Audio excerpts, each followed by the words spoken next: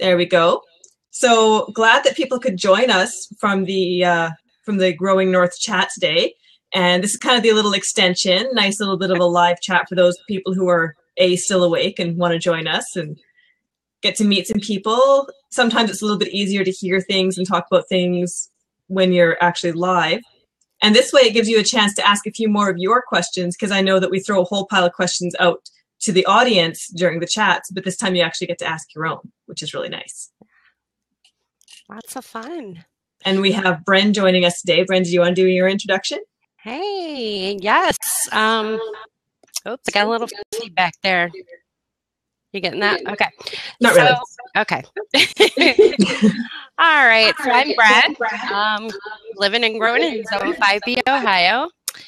And um, I'm anxious to start more seeds. I've actually I've been start I've been growing seeds just continuously here since October, but I have that nice little uh, geodesic biodome in my yard, so I'm just constantly putting stuff in there, and um, and now I'm starting indoors more, like tomatoes and things. So can't wait to talk about that. Are you going to be able to plant those out? Um, what time? When can you actually plant those out? Well, you know, it's very important to follow that little USDA map, definitely, so you know when to start your seeds and to put them outdoors. But see, now what I'm doing with these, and I always say it wrong, and plus I can't read my handwriting. He's being a good doctor. wow. um, Trinzo, does that ring a bell? It's a variety. I found the variety the only variety I could find in my stash that had um, for containers. So this was recommended a, a, tomato for containers. So what I'm going to do with these, I'm going to start them, and once they get growing good here in my, I've got some LED lights in my office here. Um, I'm actually going to repot them and stick them out in the dome since they're container varieties. So I can start them a little early, right? I hope. Yeah, absolutely. We'll see. Yeah, absolutely. I'm and sure you could put the other varieties into like a larger pot in your dome as well, just to get them a little bit more real light, a little bit more um, everything else before you actually plant them in the ground too. Sure. I, am sure you could do that. Yeah, I usually start my other. I usually start my other varieties. Well, I watch people like uh, Delta Gardener just popped in. I usually watch her when she's showing all these tomato plants that are starting to come up. That's usually when I go, "Oh crap, I gotta get those tomatoes going!" Right? so that's how I do that. hear that? you, you're the one who, who gets Bren reminded. It's like, oh, oh, right, right. I'm supposed to be doing something. Yeah. Yeah. Works out great. we got quite a crew in here. Oh, I keep seeing uh, Chili Pepper. I love that name. That that is cool. I, do. I love that too, especially considering you're like right way up there in the north too. So okay, I just I love that. Oh, that's cute. Uh, chili pepper. So he actually means yeah. burr, maybe?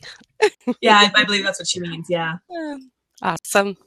So, wow, this is great. We got quite a few people in here. I hope we get some good questions. And I want to learn some stuff from everybody. You know, I always learn something new on Twitter. Yeah, so, anyone who's new on Blab, if you want to ask a question, um, you can just use a little slash followed by Q and then add your, type your question in there and uh, then we'll be able to pop it right up into the chat here so everyone can see it and read it and and then we'll we'll try our best to answer it yeah Bren, Bren will probably have some pretty good answers for you but um for i'm going to guess almost all of the people like me who grow in the north you're pretty much if you want to do tomatoes or peppers or a whole pile of almost anything you're going to be growing your seeds indoors before you can actually plant them outside yeah. Even if you have like a, a nice little long, high tunnel or anything else, it's still not quite warm enough.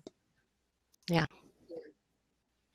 And um, yeah, you usually you start yours um you start yours indoor. Well, you have you don't have a lot of time for your tomatoes to actually do their not thing. Yeah. I have 90 frost-free days, but the first 30 of those the soil is still cold. Wow. So the tomatoes don't really care much for that. No, I would almost, I mean, like last year we had a really weird year and like my heirlooms, my heirlooms didn't do very well, which was kind of a shame because I actually planted them in this big area that I'm doing. Like I'm experimenting with a no-till kind of, I don't even know if I'm doing that right, but it just, it didn't get hot enough until the very end. Right. And so I really like my container, the container uh, varieties, because that way I can bring them indoors and they kind of finish up, right? Yeah, exactly. Like I, you've probably seen in my my greenhouse, I have a whole pile of peppers in in containers. Exactly the same thing, because that way I actually get to extend them a bit. Mm-hmm. So we have a question here um, from a chili pepper. Am I the only one who always feels behind when seeding? Um, no. no, no, no. I always feel like I'm scrambling or I've forgotten it. And then I freak out because I, I felt like I was behind and I started everything and then I realized, oh, I started it too soon. Now I'm going to be fighting with things that are indoors and getting too leggy for too long. Yeah. So I, I end up with both problems. I, I fight myself all the time. And then the, I get it right. I know I'm like, okay, I got it timed exactly right this year. And then the frosts are late or something happens. so it, it just doesn't matter what you do. Right. and then I always get, you know, you always get halfway into the season. I mean, at least I do. And then I see somebody sharing something that's blooming, and then I forgot, oh man, I bought those seeds. and they're like in my desk or something. Do you ever do that? I thought you had like those really nice seed keeper companies. I do. do you put them in there? I'm not gonna pan around and let you see my office. it's like it's crazy. 18 hours is I've got this question from Scott. How does 18 hours of sunlight help you through, Pam? Um, well, it helps with my mood. That's for sure. But um, if the soil's still a bit cold, the roots aren't getting too much benefit from it because um, the air temperature still, I mean, around, I'm going to say 10 Celsius. So I'll let you fight that one out as to what 10 Celsius is. um, but the the soil's still cold and the air isn't really all that hot until midsummer. So it takes a long time to warm up. Yeah a frost goes six six feet down where I am, so it takes a long time for that soil to warm up. Yeah. Sometime I'd like to get Delta Gardener would be fun in here to she, she brought up um, the hardening off thing and then you know of course you're talking about it. Yeah. I still have a hard time with that. I don't quite um, I think I'm doing it right because I don't really lose a lot of my seeds, but I'm not sure what exactly that is, hardening off. Um, the plants you've grown indoors, I can I can help out with that for people who aren't sure what hardening off is. Mm-hmm. And uh, Delta Gardener's right; it could take a week to harden plants off. Um, so you have your nice, happy little seedlings that have been in there, nice, coddled, warm, no UV, no heavy winds, no direct rain, beautiful, you know, utopia of indoors where no bugs, no nothing. Mm-hmm. exactly. Plants don't wear coats. Um, so they got to grow their virtual coat, if you want to call it, when you put them outside. Okay. So you take them outside on a sunny, warm day, not too much wind. You leave them outside for a while. You bring them back in overnight. And you do this over about a week of putting them outside, letting them get exposed. The very first day, you're not going to put them in full sun. Sure. Too much UV is going to burn them. Right. Um, you're not going to put them out on like a torrential raining day. It's too much. You're not going to put them on a super windy day.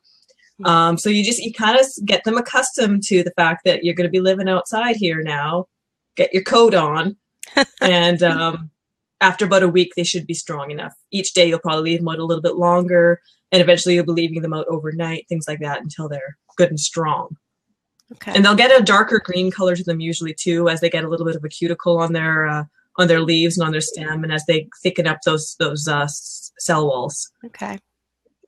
And yeah, a chili pepper says also killed plants because the day got too hot while I was at work, which is oh, exactly it. The first few days, you put them in a part sun, part shade, yeah. because that's exactly what happens. They're so delicate that you put them in full UV. It's like a Canadian going to Florida in January. We have no, oh. we have no suntan protection. We go down into these places and we just fry. We we look bright red. Yeah. And you can you can pick us out right away. We're the ones without the, the winter coat. Yeah. you see a lot of Ohioans down there right now like that too. It's we make everybody have to wear sunglasses because white. Yeah. that's exactly it. It's like we're our little glowing yeah. thing. That, that's you basically think about your plants like that. Yeah. That's what your plants are when they go outside. So you got to get them uh, get them ready for a suntan, get them ready for, you know, some heavy wind. Yeah. I love that. A chili pepper. I only had to learn that lesson once. Yes. And it's a really sad lesson because you've planted yeah. these seeds and you've watered them and you've nurtured them and you've thought about all these tomatoes and these what peppers that you're going to get at the end of the season. Mm-hmm. and then you go to work, you're doing what you're supposed to do, you're hardening them off, and you come home and they're dead because you put them in the wrong spot. Yeah, that happens in a lot of different. I mean, like last year, my biggest devastation was I worked so hard with learning how to grow things in the LED lights, which it, it's kind of challenging. I mean, because you got, you got to really pay attention to how many hours you have it on. You have to have air moving. It's got to be warm. I mean, there's still a little bit to it, right? But I was just yeah. excited. I got my broccoli. I had this new variety artwork. It was like, you know, it looks so beautiful, and and you know, I was careful to bring it out. You know, which I kind of hardened harden off, but not really knowing it's called that. Because, anyways, the rabbits ate it, or I know they were rabbits. I didn't see them, but I know it was rabbits, and they gnawed it right down. And there went my baby seeds, you know, and my plant. That was sad. And you got all these hopes for them and these dreams and the It recipe you're going to use them in. Yes. Exactly. so Oh, winter sowing. Yeah. Uh, Delta Gardener just mentioned winter sowing. That's exactly another thing. It's the plants naturally do it. I can only winter sow with a very few things um, where I am um, because the grow season is just not long enough for some of them, even if I winter sowed them. okay. So I do have to pre-start and go through the whole hardening off process. I will say the greenhouse makes that easier. Yeah. The hardening off process. I could put them in the greenhouse with that gentle fan, start the hardening off. They're getting some stronger sun than what they would. They're getting some more temperature extremes than what they would indoors. So I only have a very light bit of hardening off left to do um, if I put them in the greenhouse for a little while. So that is one way to speed it up, and you've got that benefit too, Bren. You could do that as long as you got like an, a fan or something Mhm. moving the air or windows you open up that's going to move air through. Yeah. My fan's That's working you. pretty good in there. Yeah, so you, you could do that. So I'm going to just kind of jump us back. We we titled the blab here "Seed Starting: What Supplies Do You Need," which is kind of an extension of the chat we just had on Twitter, which was a really good chat. A lot of people were chiming in, lots of good ideas, lots of good thoughts, um, and I think everybody knows the basics of what you need. You need soil, water, air, and some seeds.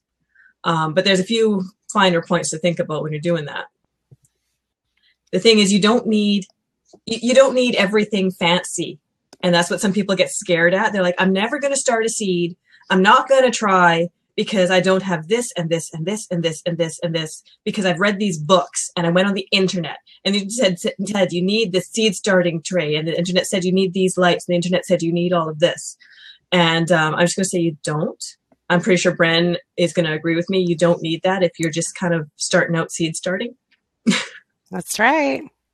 Yeah. You can. I was just sharing before we um, we went live here. To, can I show my little micro greenhouse thing? Absolutely i think it's awesome Here's my little. so I'm like double recycling here. I use this is I think the second year for this um, lettuce container that um, I mean come on face it we eat a lot of lettuce right it's kind of hard to grow like completely A burger's not a burger without a piece of lettuce. right. okay. So, anyways, you want the lid because that's because, um, especially um, in the next week here, like next week, I'm going to be at a show and I won't be here to water these, but I timed it just right that, you know, these are just starting out. And um, if you put enough water in here, it, it kind of, with the lid on it, it keeps them moist. So you don't have to worry about watering it, right? Does that make Yeah. sense? And then so Um, for some things, yeah. for some things, right? So, and then these little things, I'm fairly new to these. Actually, I had my uh, daughter collect these at her work because they have one of those little uh, Keurig machines or the K cups, you know. And so I said, just put a little container next to the coffee maker and have people throw their little K cups in there. So we did that, and she brought them home, and I kind of washed them up. But then I thought, do I really need to wash them up if it's just plain coffee grounds in there, right? I mean, the scraps. It's not bad. Nothing happened bad. So, but anyways, you punch a hole in the bottom of the K cup, fill it with soil, seed soil, and put your seed in there. It worked really good last year. Yeah, no, it looks like it would, and it doesn't take up nearly as much space as uh, some other things. No, and then you know, so last year I primarily did. um Oh, my um cardinal climber. I really like that. Is that how you say that? Cardinal climber. It's got just a beautiful bloom on that vine, and the hummingbirds and um, other uh, boy, my brain's not working tonight. Pollinators love those. So all all I did once the plant was big enough and it was time to put it outside, you just kind of push the cut. I mean, you just kind of push on it a little, and it the soil pops right out. It pops right out. The whole little root bound type thing. Well, don't let it get too root, root bound. Root, root bound. Scott's laughing at me right now. I know it. but there it is. That's all you do. right. and that's just that's cheap. I mean, I didn't even buy the coffee stuff, and I've used these. Like I said, this this container I think's on two years, and this is my um, second year also using the K cups. Yeah, and uh, it's yeah. a great way of recycling. I love it. You don't even need to spend a whole pile of money. You just ask yeah. someone for their old lettuce container. You yeah. ask someone to collect the old K cups, and you buy buy some soil. And really, I mean, people are thinking that they need to spend all of this money.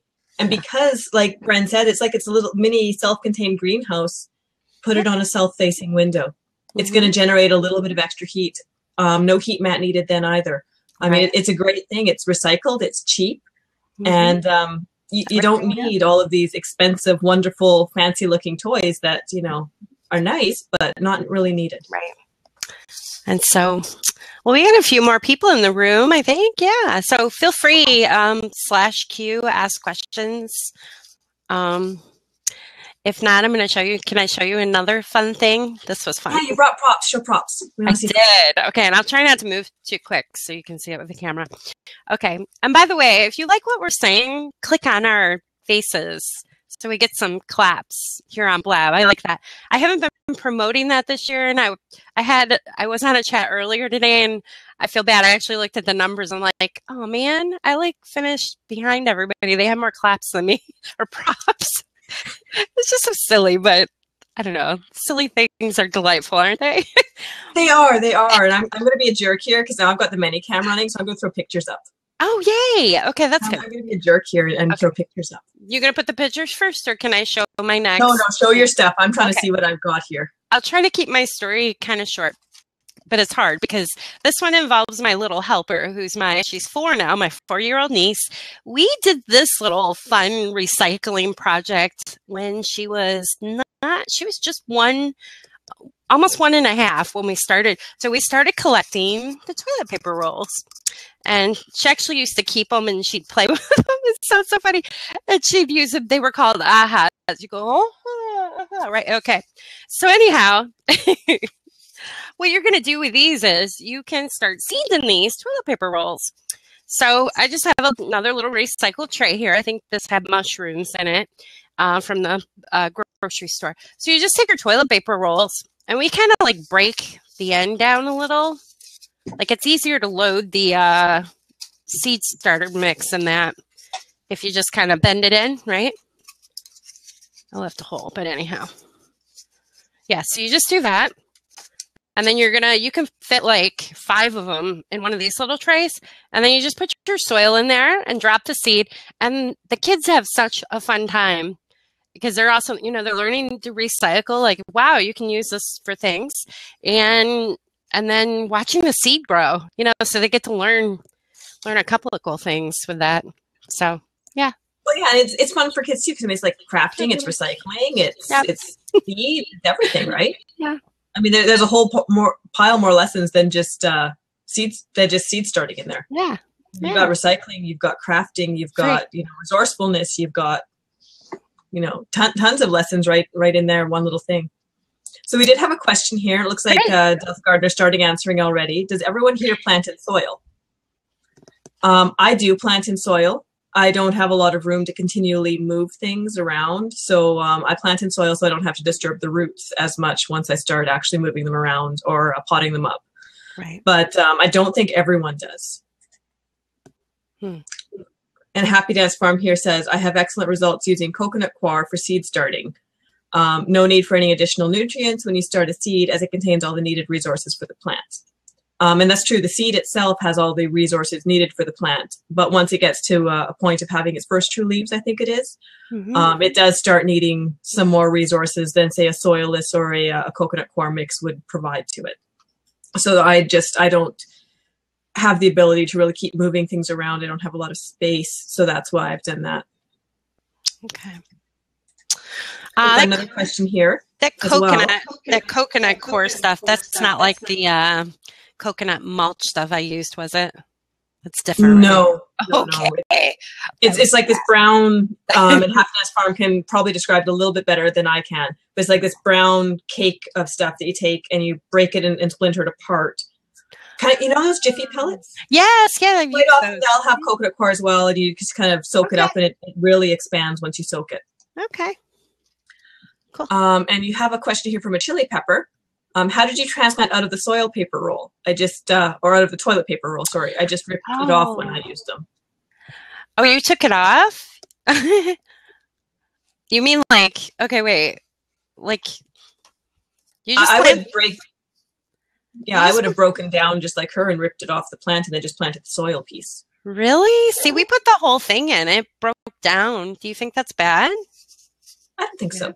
It's just I don't think it's recyclable bad. stuff.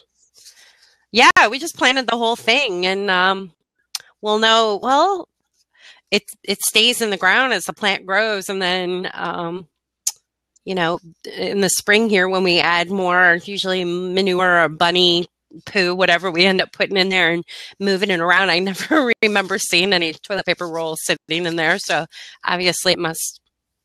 And you probably have worms in the garden too, and they're going to eat that as well. Oh, the worms are going to get right in there and eat that. Yeah. Um. So yeah, Chili Pepper says she wasn't sure, didn't know if it would break down fast enough for the roots. Oh. Um. Well, know, if you're come out the using any- Some people will use like the um, the waxed cups. I Mhm. think Oh, the waxed cups would probably not break down as quickly. So waxed cups, I would I would err on the side of caution and take a waxed cup off. I don't think it'll break down as quickly. But mhm. um, the toilet paper roll, roll, yeah, worms love that stuff.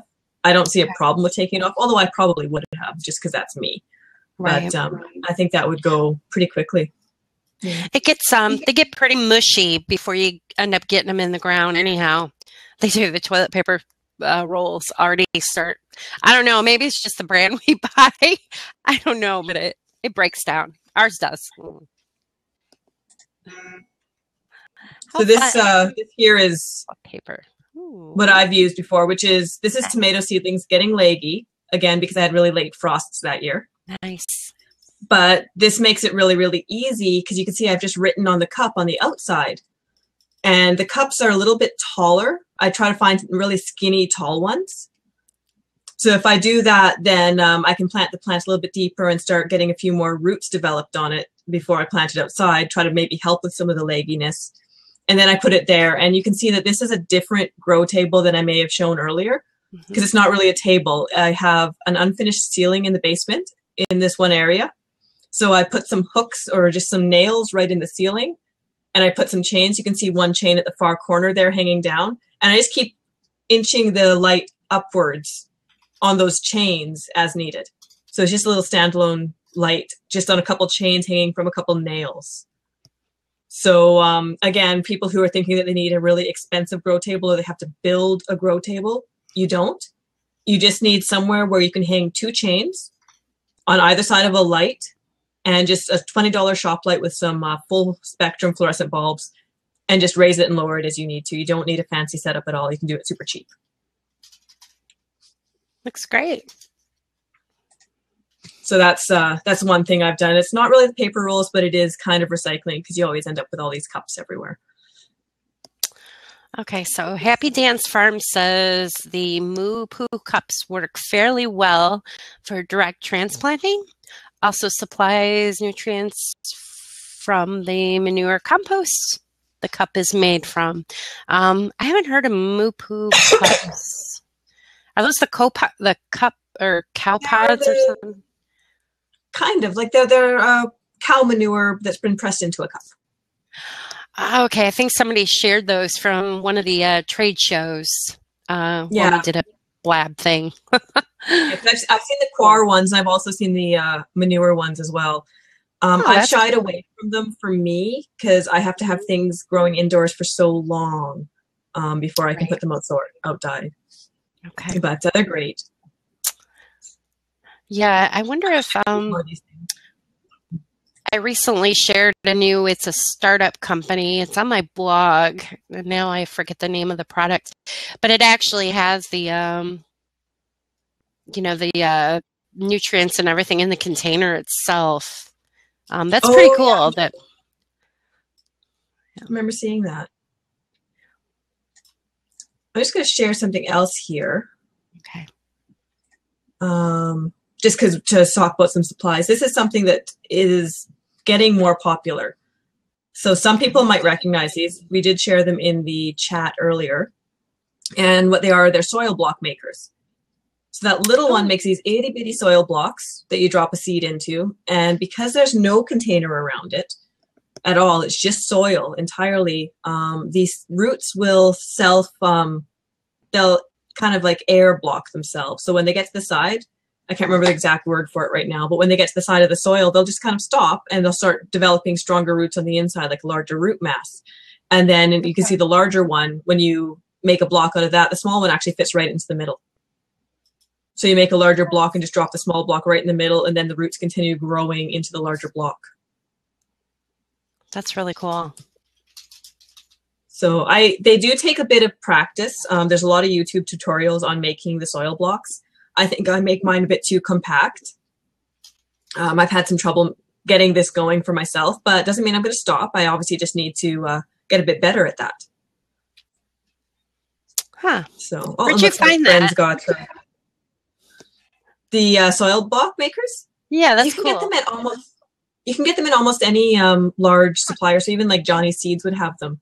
That's cool. almost any of the they're not cheap um i borrowed them from a friend who had them just Mhm. to see if i like them and obviously i need to do a bit more work with them to make them work really well for me right. but uh, they're great oh yeah amazon ebay has them as well they're just uh there's three sizes normally Huh. or three sizes of block and then you can get ones that are really really really big uh, in the sense that they make a lot of blocks Mhm. and uh yeah they are they are great you don't even have to fuss with any sort of thing you just stack all these blocks into a holder together and off you go but um i i have not had as much luck as i wanted with them so i got to try a bit more work Yeah. Maybe once I don't have my little niece collecting toilet paper rolls, I'll get something like that. oh and scott mentioned uh, related to the vermicompost here i add things like newspaper pumice stone crushed eggshells coffee grounds to my vermicompost system and that's absolutely true um, worms like some grit worms like a lot of brown material like the roughness like the newspapers and that. Mhm. if all you're feeding your vermicompost is greens which would be all of your vegetable matter and uh, any grass clippings are kind of in between but you really really need to add everything else in there. And yeah pumice stone like the the dust is is great grit. So um, we've got general pumice down there who sells it and uh, they sell some great stuff. Really really great stuff. Mhm. so the uh, the vermicompost is, is absolutely awesome. I should see if I can find a picture of the vermicompost system I use because I know that Scott uses the same one. Um, you don't need vermicompost for seed starting. You don't. I I would actually say that vermicompost is too strong for seed starting. Hmm. Um, you'd probably end up burning out the seedlings. It's just it's really strong stuff. Okay. But once you transplant the seedlings into your gardens, vermicompost is absolutely wonderful. So I'm just gonna see if I can find a picture of that system here. I absolutely love this system. I'm not sure if Scott wants to chime in at all, if he loves uh, his vermicompost system as well. But Hmm. uh, I absolutely love it. Yeah, I'd like to learn more about that. I tell you, it gets so busy uh, that time, you know, when it's seed starting time. Oh, check that out. That's cool. Oh, Giovanna has one of those too, I think, on Twitter. I uh, absolutely Chapstick. adore And you can That's see in the back corner there, I have stacks of us some seed starting material. That's cool.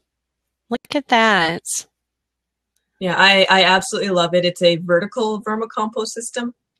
So you just keep stacking it a layer on top. So I'm not going to spend too much time on it because we're not really talking about vermicompost today, but That's I think another chat that would work because Yeah. you could do winter composting all year long in a, uh, a basement area with one of these systems when you're in the north because obviously outdoor composting freezes. Yeah. No. Yes. But with one of these systems, I'm able to do vermicomposting all year long, and it's it's absolutely wonderful. I love it. That's very cool. Yeah, because like uh, what I was saying is, you know, I get so busy this time of year. I mean, we've got, I like to go to some of the shows and I love stopping at the garden centers to see what they have going this time of year. You know what I mean? It's, it's like fun time, right? So it's easier for me just to go to the store and buy like an organic seed starting mix, you know? But Yeah, I, make, uh, make my own. That'd be cool though. You can make your own seed starting.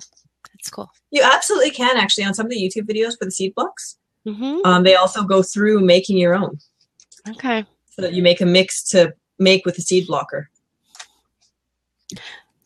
So, um, Kristen says her favorite tool in the greenhouse is my Widger.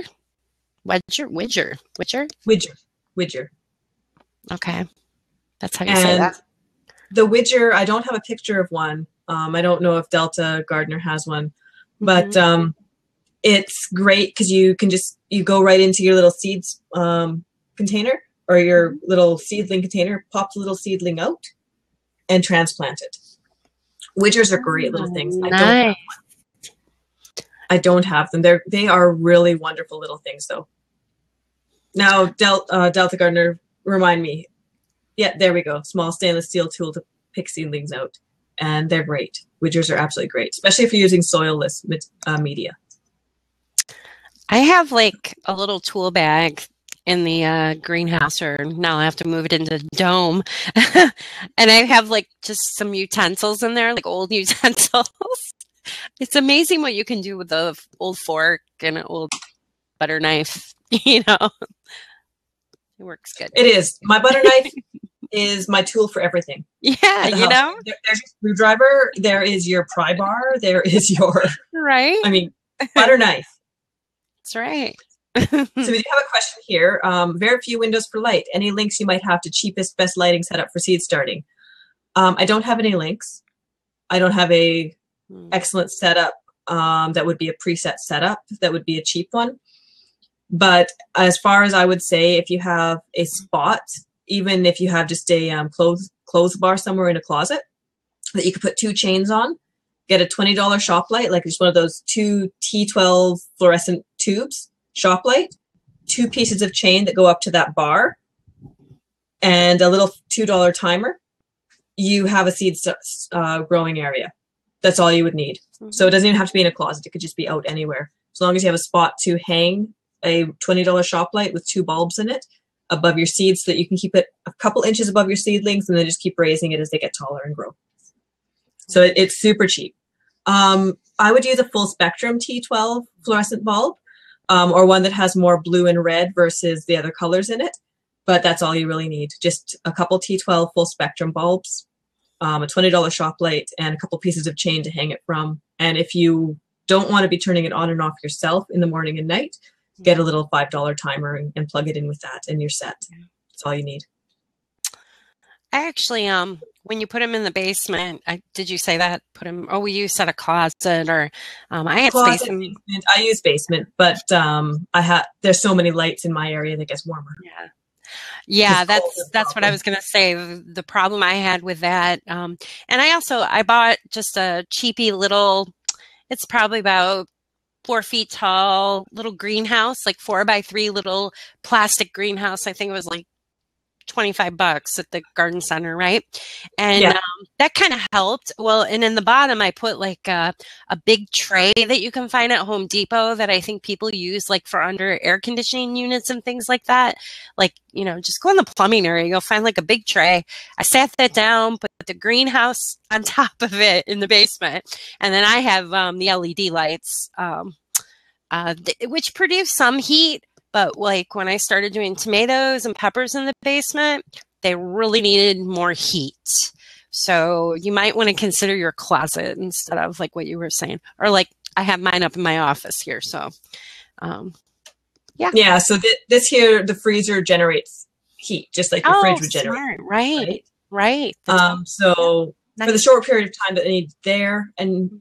I can't really point it out right here, but um, Here. you can see in the sides, Yeah. those are just two nails in the ceiling, like I was mentioning to people earlier, um, that the chains are hanging off of. It's literally two nails in the ceiling, two pieces of chain, and a twenty dollar shop light. Nice. and they're amazing. I have actually a, I have two shop lights side by side there just because I, I like to put my flats lengthwise, but you don't have to worry about that. So just a quick picture of what it might look like, and it doesn't have to be obviously on a freezer. It could be anywhere that it's not going to get too cold, hmm like Bren was uh, bringing up, which is a very important point. Yeah. And we have another question here I brought up from Kristen. Anyone use no hole flats for under plants? Great for inside to hold water and avoid leaking on tables. That's exactly what I was using in that picture. I love no hole flats because I can water from underneath. Um, watering from underneath, I think uh, Kristen, you mentioned that earlier um, in the Twitter chat. Super important because then you don't end up with all the damping off or the extra mold or the water sitting on your seedlings leaves. Um, you you want to try to avoid that if you can.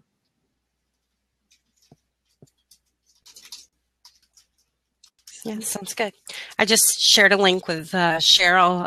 Actually, had a friend uh, who grows with lights, not LED lights, but um, he did a guest post on my um, website. So if you click over there, he had a nice, great information. That can be kind of fu- confusing trying to mimic the sun and stuff, right? A little bit. Oh, absolutely. Just me. And unless you want to put a lot of money into it, like Scott uh, was discussing, I think he said he had a thousand watt power supply when he was doing his halide system to grow tomatoes inside in the winter. Um, that's getting closer to mimicking sun because it's the amount of the intensity of the photon energy, so the concentration of it hitting. Um, Mhm. fluorescent lights provide, you know, one or two per area, if you want to try and just give it an example. Whereas, you know, a halide light is could be giving you know, like 10, 20, 50 to the same area in the same amount of time.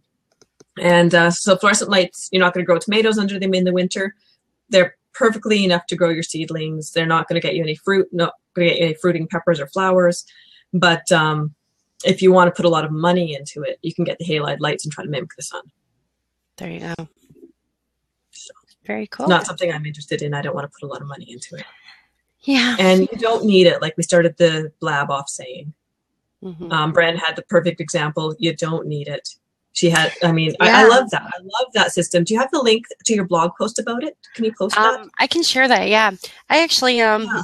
and you could get all sizes because actually, you know what? Way back in like 2007, before I got my first greenhouse, right? Um, that's all I used to use. In fact, I here's another one, like a bigger, a larger lettuce container, and that really helped hold the heat in. You know, just put your starters in there, and uh, I used to just sit that in the um, well, it's like the south not direct sun. I mean, you don't want direct sun; they dry out, right? Yeah. Like And you also want to have a lid that comes off. yeah, Um, yeah. The lid comes off. otherwise, I mean, if you leave your humidity lids on your trays or your seed start trays or anything like that, hmm um, the you're going to end up with fungus, damping off issues, things like that. So once the seedlings have all sprouted, Sorry, you're going to want to take the um, sorry. take the covers off. No, it's okay. And then, um, oh, you know, something else I did too because um, I, I'm sometimes I get a little frustrated planting in the little cells. Like you get those, I call them 606s.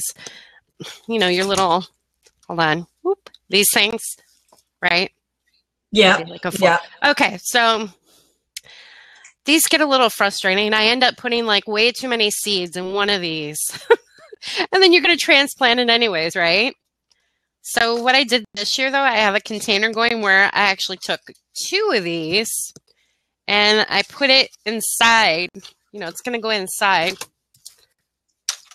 Tray's going to go inside there, but this one that's going inside has holes so water can drain through it. Right, I'm right. That's an awesome idea. Yeah, and I'm just putting soil in here and just putting the seeds in there, just scattering them as as they come up. I'm Just like mass planting. yes, mass planting. I'm just gonna, you know, trans, you know, take a little butter knife and um, transplant them instead of you know, that gets a little frustrating. Although I have a feeling that this spring you're going to have a widger, aren't you? I would have to check that out. What do you got going there? That looks good. Well, that's just another example of like those multi-pack things. Um, and I reuse them year after year. And I know some people say they wash them out. Yeah. I must be the laziest person ever. I don't. I don't even wash them out. I just grab them, jam more soil in them in the in uh, seed start time, and start using them. And you know what? I don't have damping off issues. That's pretty And cool. uh, Chili Pepper here says, I did mass planting of those salad containers last year, but love your container and container idea. That is an awesome idea, Bren. It really is. yeah, just remember to kind of pull it up and check and make sure those holes are actually draining, right? But uh, so far, it's working great. You could probably put a couple, you know, butter knives underneath it to lift it up if they're not quite draining. That's a great idea. Yeah, so a great idea. Um, da, da, da, let's see, where are we? Well, it looks like um Yeah. we're we're actually doing well. Please explain mass planting. Bren, did you want to explain mass planting? as far as like with seeds, yeah, just what it is. What are you talking about? What have you done in that container when you say mass planting? yeah. So I'm just spreading the seeds in um in that container. You know, just kind of just space it all out, right? They're not separated at all. Yeah. No, no, you just kind of be careful and sprinkle them in there. That's how I plant my lettuce, actually. I mean, you're not going to take one seed and do it in each little cell. I just kind of sprinkle them, just a big, all one variety, all one type of seed, mass planting. You'll see it in landscapes, like you ever look out and you see like a mass plant, like just a whole area of Russian sage or something that's pretty popular in Ohio. Mass planting, right? Yeah, I'm trying to see if I can find a picture to share of mass planting that was sprouted, but I don't have one. Um, but yeah, it basically is. I mean, you have your tray of soil, Mhm. and exactly like Bren said, you take all of your seeds and you just sprinkle them in. You're not doing an individual seed per individual divided container. Right. And then, yeah, exactly. You thin and then transplant.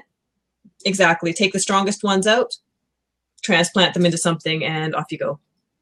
And exactly, it makes a quick use of a large seeding season because if you take an individual ones and done 200 of them into individual holes, Yeah.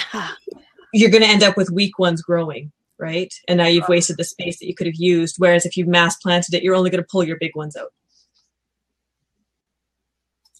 Exactly. Happy Dance Farms has mentioned here. Mass planting is also what you would do for microgreens.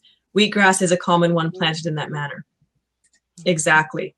Um, so I have this isn't a wheatgrass, but this would have been mass planted when you see it. This is actually um, a banker plant that has a very specific variety of aphid on it that I use to maintain my biocontrols. So my parasitoid wasps would infect these aphids, but these aphids won't go and infect my other plants. But that that's exactly it. That would be a mass planting right there. Huh. You would not let one like Bren is doing grow to this level. No. you would definitely pull out those seedlings when they're small. I meant, But and, grass you would do this way. yeah, and some seeds, you know, like tomatoes or things like that, if they get, well, tomatoes are pretty hardy. That's a bad example. Um, I don't know, there's some seeds that, I mean, you wouldn't want them to get too big and try to transplant them because they probably wouldn't do so well, right? Beets, beets would not do well. Beets, Oh, they have they're a taproot system. Yeah. Um, carrots, they're a taproot system. Mm. Parsnips, they're a taproot system. Anything that's like that, you're not going to want to do. But uh, a lettuce is a fibrous root. A tomato is a fibrous root. Um, they're they're fine. But Yeah. taproots, you would not want to mass plant and then try to move around. Sure. Like my lettuce, my lettuce is mass planted too. In those, I have vertical gardens that I share in the uh, geodesic biodome, and they're just um just sprinkle them on, and then I go in with the shears and do a little haircut and go have some lunch.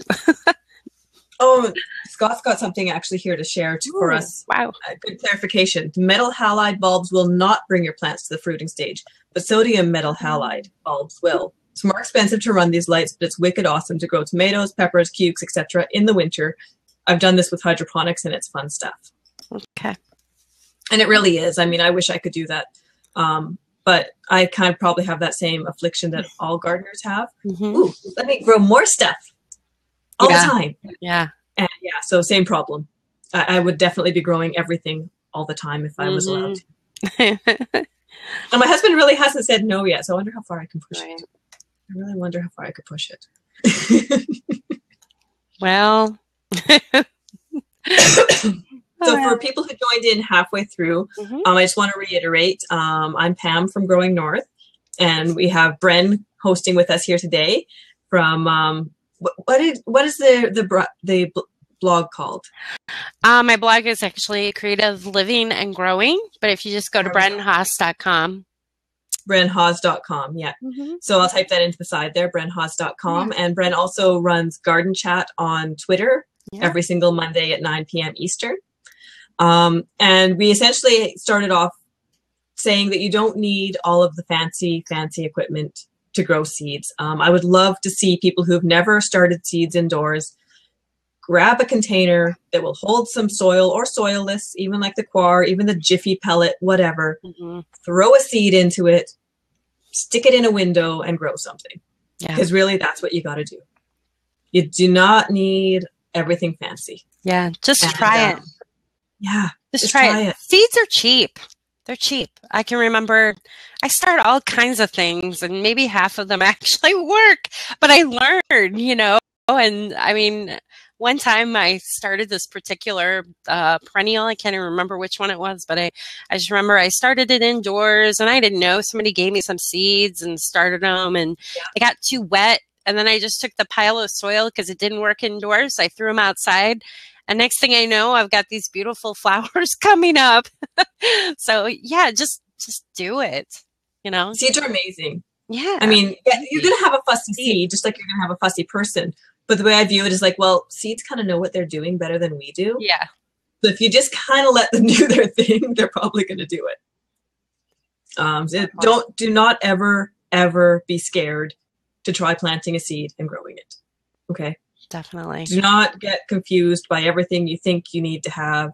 You need some soil, water, and light. Yeah. Okay. Um, so, and Happy Dance Farm here has said LED. So LED lights are so simple now. You can tailor the light spectrum for greens fruiting off the same setup, which reduces costs. And LEDs produce much less heat than halide bulbs with less electricity cost. And I am so tempted to go and get some LEDs. I really, really, really want to, but I just, I've got my little $20 system Yeah. hooked up in the basement and it's working. So maybe, maybe in a couple of years I'll do it. The technology is amazing. And even in our home, my husband's been going nuts because they've gotten so cheap. Like, you know, he goes to pick up light bulbs and he comes home, you know, it might this new bulb he got, I think it costs like 12 bucks, but it's supposed to last like 30 years. And the Yeah, like twelve dollars over thirty years. What's that?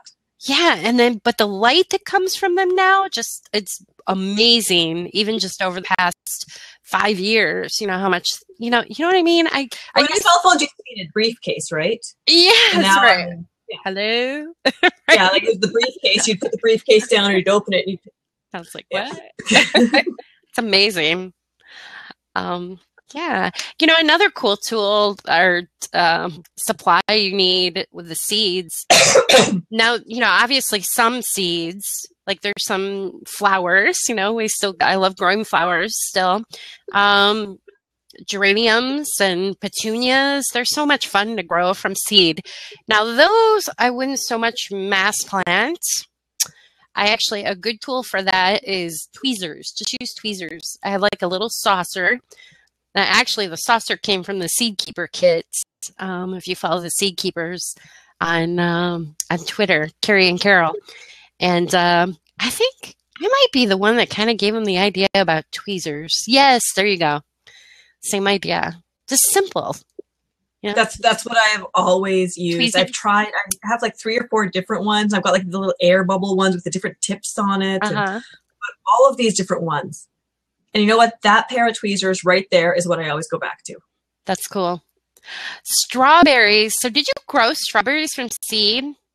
Oh yes, yes, they're great. I've never done that. I've seen a lot of people do that. And I just, Yeah, they're great. I gotta try that. Actually, what you see above there is the smallest seed block. That's what you get out of the smallest seed block. Oh wow, that's cool. Check that out. Hey guys, give give Pam some props there. That's pretty cool. that's cool. Oh, I've got, I'm gonna give you some props. Um, and so we've got here another question from a chili pepper. Do you both plant seeds that need to be chilled? I haven't tried the chilling process.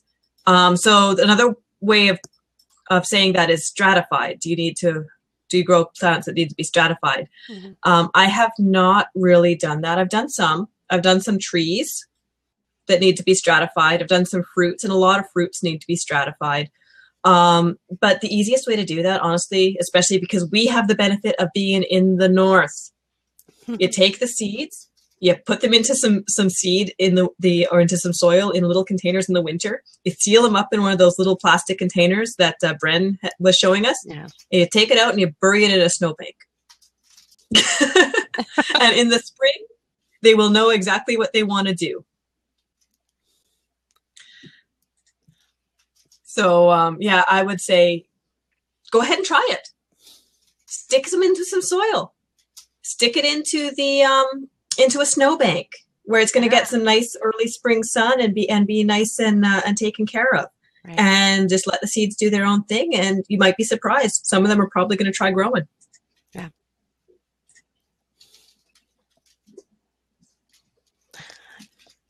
Yeah, I want to try some of that. Um, winter sowing or what I think that's what it's called. Uh, Miriam, I talked to Miriam this week, blabbed with Miriam up there in Canada. I don't know if you caught that. Um, she was doing like perennial wildflowers and you put them in containers now out in the snow. Well, not in the snow, but set them. Kind of the winter sowing, the winter yes. sowing idea. Yeah. Yeah, I think uh, Delta Gardener said she's even doing that now. That's cool. I, I, you know what? I love the winter sowing idea. I haven't done as much of it yet. I've done some of it with the uh, stratified seeds just because I'm lazy and the seeds know what they need to do. And I have the benefit of having a frozen area. So I just like, stick it out there. It'll get warm later. Um, but I, I really love the idea of the winter sowing. It's using nature and using the processes that have been developed in nature to do exactly what nature wants to do. Mm-hmm. I, I really love it. Very cool. So. Oh, and uh, Happy Dance Farms here says I do that with shiitake logs. Toss them out in the cold after they are spore plugged, and just let them do their thing. Let nature take its course. You know, I have one of those. I started it. Maybe they could help me a little bit with that. Happy Dance Farm.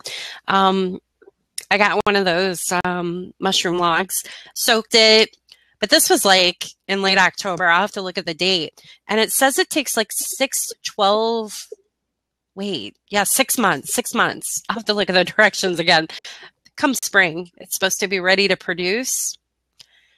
Um, I wondered if the cold was going to affect it because I started the log so late.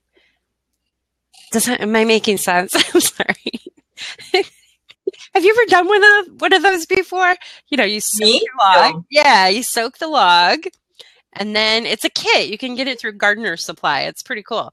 And so, but then I read the directions after I soaked in. It's August, you know, it's no October, and I live in Ohio. It's like, oh man, we're gonna, it's gonna snow. So it's out by my patio garden. In fact, I looked at it the other day. Um, of course, there's no mushrooms yet. Um, they will need to be kept cold as well for a period of time. Oh, so it should be fine. I was thinking about cheating and taking the log and putting it into my dome. Like I do have like a shaded area um, where I, I kind of have a, yeah. Try it. You think it would work to like speed up the process? Happy Dance Farms would have a better idea than I would. Yeah. I've never done them, but I'm I'm always of the thing of try it. Do it. I know. Try I just it. I don't want to lose my log. I'm pretty excited about growing mushrooms because I love mushrooms. Um, Bren, you just like to grow things. I know I do. And you know what? Actually, I took um I should I need to share this on a periscope or something. I had a whole bunch of lavender seeds and I never had much luck starting them indoors or even when I would sprinkle them out in the greenhouse. I don't know if it or start excuse me, out in the garden. I don't know if it was just the variety I was using, but I just never had luck with the lavender. Well, there's this little section in the dome and I just kind of scattered all those seeds that never worked. They're actually coming up. I may have like a big lavender field. the, the See, that's, that's exactly it. Let the seeds do what the seeds want to do. They know what they're doing. Yeah. working. I don't know. Like I said, dome. so, But uh, what I'm going to say here is we're getting close to 11. So I am super pumped with everyone who's hung out here and asked questions and given us, you know, advice and on the mushrooms and on the lights. And I mean, there's just been so much coming in here in the winter sowing. I'm really, really happy with all of that. I love learning in the blabs as well. I mean, I'm not, I'm not the one who knows everything. So I'm really, really glad that people remind me that and tell me everything. I love it. Yeah. Um, and I want to say super huge thanks to Bren and your props. I loved your props. Thank you so much for bringing those. Did you grab uh, your blog post about the recycled seed saving? yes, I see. I shared that just a little bit ago. Great. I can share it again. But yeah, that was fun. I just kind of took some pictures of what I've got going on. Got a whole bunch of little stuff. I just grow all over the place. Are you like that too? I, I try to as well. Um, sometimes it just kind of gets picked up when I'm not looking and moved back into the area that's supposed to be where I'm growing. Right. So, Yeah, and that's okay. Yeah. so I threw a picture up there. Hopefully, that's going to get people thinking to uh, to start planning their spring gardens. Um, we've got a long time to wait here where I am, but not everybody lives where I am. So hopefully, people are planning away and getting their seed catalogs out and getting going. And uh, if you get your seed catalogs out now Mhm. and start saving up those K cups that Bren was showing us, um, you should be ready very, very soon to start getting your seeds started. Yeah. I even uh, I started some canna canna, you know the flower, the big flower. I started them from seed. That's fun. I grow all kinds of stuff.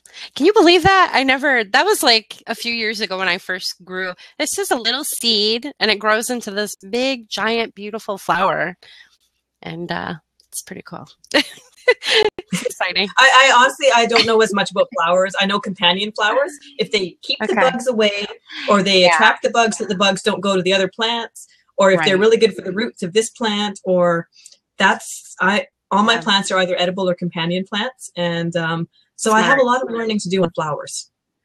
Yeah, I'll have to actually. I'll tweet you a picture of that because I've got some really pretty pictures. Somebody in the chat room just asked for a photo, and that's a very important point about. Okay, so I planted those canna flowers. You know, I just I was so excited. Wow, I grew these from seed. You know, usually you buy the big roots or the the tuber and plant it right. Well, do not plant that next to eggplant because all the ladybugs the bad ladybug like love the canna plant and you and they like eggplant too so So you just attracted everything. Oh, into yeah. one spot. it was bad i was over there picking them off and oh it was horrible yeah not good so Got a question in here from Cheryl. Idea for companion plants to attract grasshoppers. That's one I haven't looked at yet. So um, I should look into that actually and, and see what I can find out because I'm not sure. And that would actually be interesting because I find I have little baby grasshoppers in my summer greenhouse yes every single spring. And I put my nice, happy little, you know, Mhm. hardened off peppers in there, and the grasshoppers think it's, you know, mealtime. yeah So I definitely need to look into the grasshopper one. Normally, I've just kind of been going through and, and picking them off. I really don't. like yeah them. i'm trying to think I don't blame. find them on all the time. They seem to like to remember. Well, you know, I'll have to look at my pictures that I take of the grasshopper. Then you'll know what they like sitting on.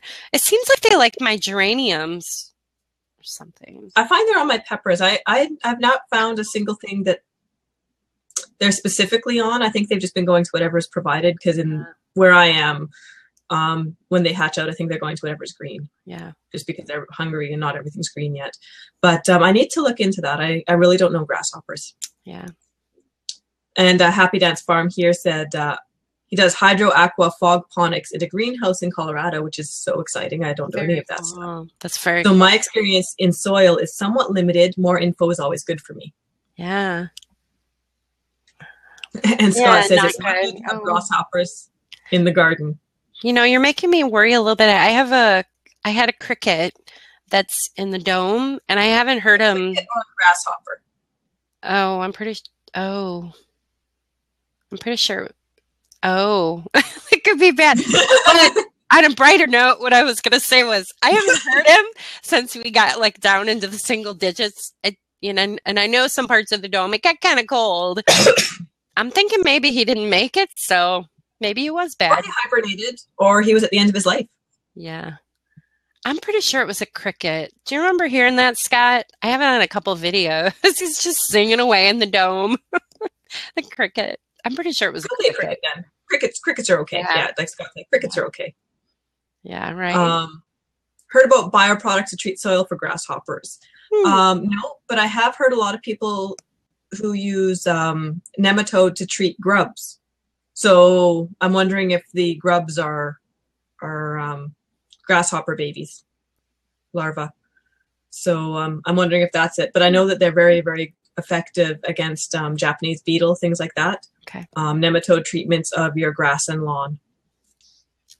I haven't used them, but I've heard very, very positive reviews on them. So I just my my grass is only green so sh- such a short time of the year. I don't have too many worries. yeah. Other than that, it's white, white, lots of white. Well, this is fun. We're going to have to talk more about, um, let's see, we got the seed starter stuff, supplies. We should talk about seeds. What are you doing next week? I'm not sure. I've got a few topic suggestions. I'm probably going to throw it out on Twitter and see if there's a big resounding anything. But maybe we could talk about seed catalogs. yeah, because you know what? I haven't got many seed catalogs this year, which is my own fault. I never sign up for them. I usually just go online, but sometimes it's kind of nice to look at the catalogs too. But um, That's a definite idea. I'm going to see what the uh, feeling out is on Twitter and see if people want to talk seed catalogs. great. Because uh, definitely for northern growers, you want short season stuff, and not every catalog carries it. Yeah. So I think we're going to sign off for tonight, though. Scott has said goodbye. Really, really glad to have had him here. And um, super happy that everyone else was able to join us. Um, hope you can join us again next week on Twitter and on Blab. Um, Twitter, we start at nine o'clock with a whole pile of questions, and then we come over to Blab so that we can take any questions you might have. So I'll just say good night to everybody. Please enjoy your evening, enjoy Good your night. week. Don't, don't freeze. yeah.